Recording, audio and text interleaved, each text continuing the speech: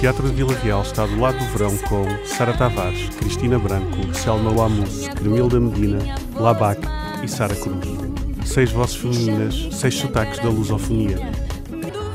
De 10 a 27 de julho nos espaços exteriores do Teatro de Vila Real.